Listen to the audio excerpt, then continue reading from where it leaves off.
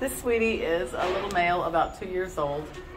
Came in on 119. Dory, there you go, pumpkin. There you go.